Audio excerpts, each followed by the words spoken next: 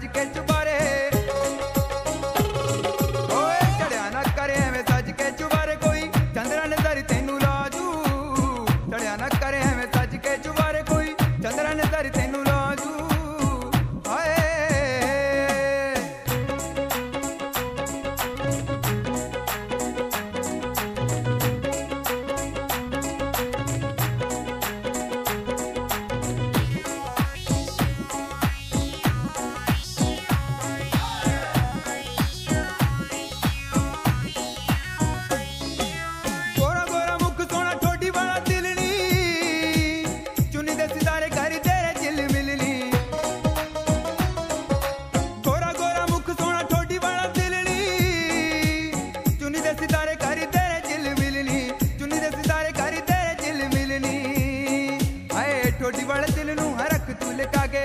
ਢੋਡੀ ਵਾਲੇ ਦਿਲ ਨੂੰ ਹਰਕ ਤੂੰ ਲਿਕਾ ਕੇ